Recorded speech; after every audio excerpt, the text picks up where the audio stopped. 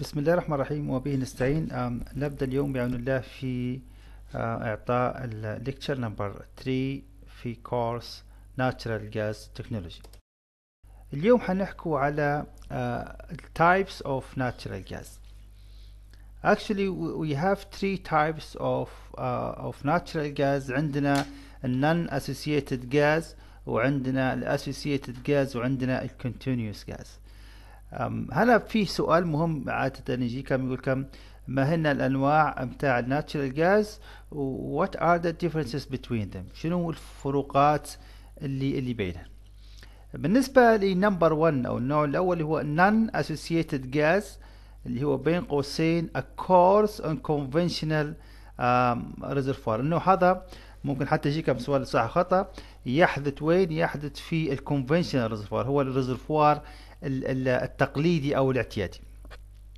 uh, these are reservoirs that contains almost entirely natural gas at reservoir conditions شنو المواصفات النوعية هذا يقول لك أنا um, contain almost entirely أو entirely natural gas يعني غالبا يكون يحتوي فقط على الناتشرال جاز at reservoir condition عند حالة الريزرفوار من ال pressure ومن ال temperature. They are generally found at greater depth. غالبا يوجد وين؟ يوجد في أعماق آه كبيرة. Greater depth. هنا في ملاحظتين آه مهمات جدا.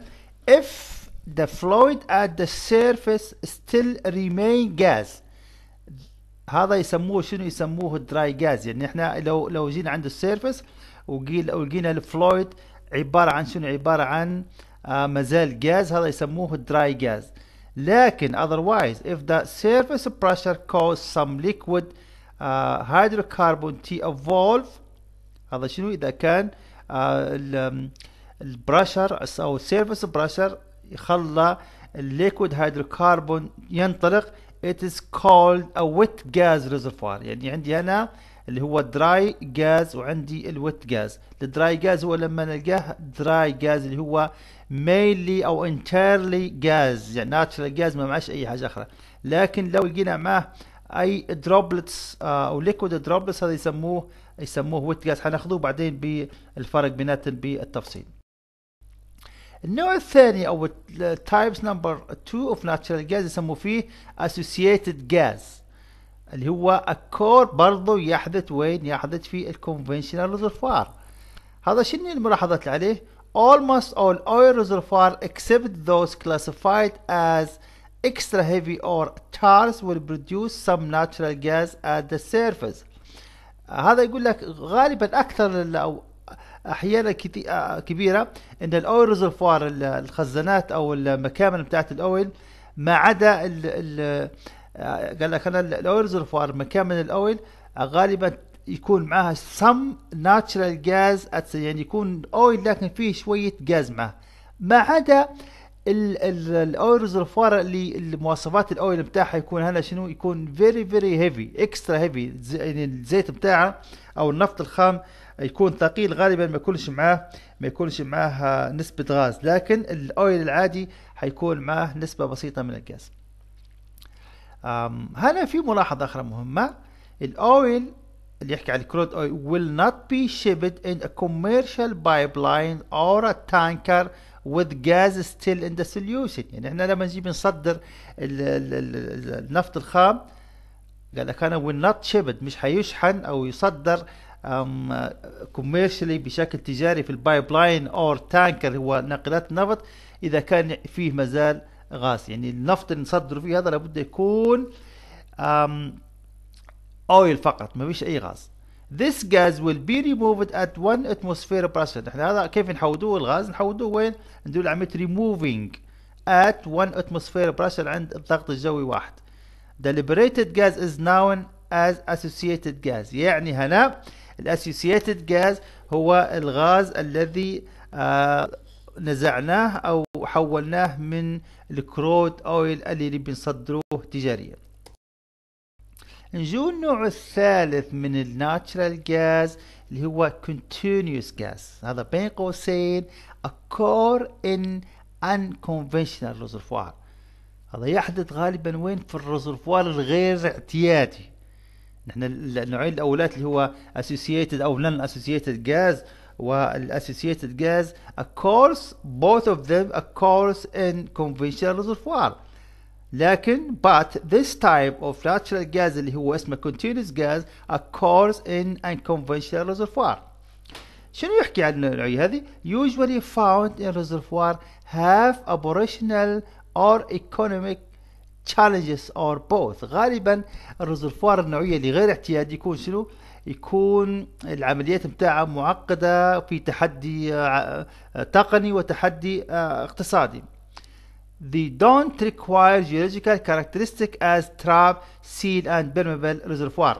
هنا هنا حنرجع شوية نحن ال convention reservoir فيه um, should be have three uh, main properties اللي هو قد إحنا good permeability good porosity وعندنا هنا اللي هو caprock هذه هنا ال geological characteristic أو أو ال general geological characteristic اللي موجودة في ال conventional لكن النوعية هذه continuous gas قال لك هذا they don't require geological characteristic لا يحتاج إلى المميزات الجيولوجية العادية الموجودة في ال conventional اللي هو قلنا good porosity يعني ممكن نلقوا النوعيه هذه الجاز هذا فيه reservoir لا فيه porosity ولا فيه permeability is a trapped within an impermeable rock and migration may not have a course حطوا تحت منها أو حطوها في دائرة النقطة الأخيرة.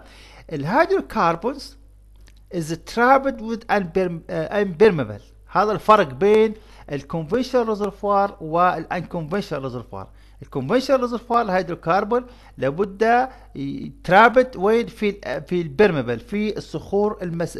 النفذ المنفذة وال porous لكن النوعية هذه اللي هو unconventional gas أو continuous gas يوجد وين؟ في impermeable rock.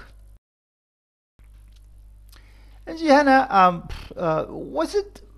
comparison comparison between conventional and conventional gas reservoir. بعد شنو هو الكونفشنال ان كونفشنال ريزرفوار هو لو بيرمبل اند انتر كونكتد بلا بلا هذا اللي بيك أبناء تراجعوه وتشوفوا بالضبط النقاط اللي فرق بيناتها هذا زي زي الهوم وورك أي سؤال عندكم فيه تكلموني. هو عباره عن شنو هذا؟ ال low permeability الثاني فيه permeability هذا فيه porous هذا ما فيش porous. هذا العمليات بتاعه أسهل هذا أكبر وهكذا. نجي هنا عبارة عن graph مش مش مطلوب منا في الامتحان لكن يقول لكم هنا geological conventional and unconventional geological cross section عبارة عن أعطيك هنا زي الرسمة الجيولوجية أعطيك هنا مثلا النوع الأول هو conventional gas وعبارة عن شنو؟ عبارة عن فيه المواصفات الجيولوجية العادية اللي هو فيه reservoir فيها trap وفيه porosity وإلى آخره. هنا الشيء جاز شيء الجاز هذا يعتبر يصنفوا فيه من ال unconventional لأن ما فيش المواصفات الجيولوجية الاعتيادية. هنا coal bed methane حتى هو موش قاعد في reservoir لا يمتاز بالمواصفات الجيولوجية العادية. هنا tight gas وهكذا. عبارة عن رسمة اللي بيكم تشوفوها وتشوفوا الفروقات بين ال conventional gas reservoir وال unconventional